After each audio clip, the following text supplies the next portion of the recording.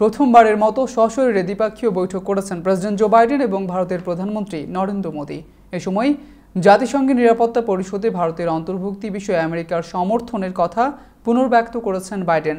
দু হাজার একুশ সালের আগস্টে জাতিসংঘ নিরাপত্তা পরিষদের সভাপতির সময় ভারতে শক্তিশালী নেতৃত্বের প্রশংসা করেন বাইডেন। বৈঠক শেষে এক যৌথ বিবৃতিতে এ কথা বলা হয়। বিবৃতিতে আরও বলা হয়, বাইডেন সংস্কারকৃত জাতিসংঘ নিরাপত্তা কাউন্সিলে ভারতের স্থায়ী সদস্য পদের জন্য ওয়াশিংটনের সমর্থনের কথা বলেছেন।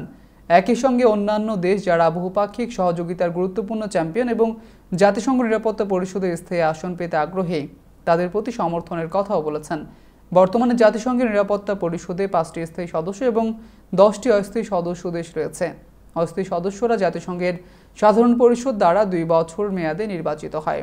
পাঁচটি স্থায়ী সদস্য দেশ হল রাশিয়া, ব্রিটেন, চায়না, ফ্রান্স এবং আমেরিকা। এই দেশগুলি যে কোনো মূল সিদ্ধান্তে ভেটো দিতে পারে।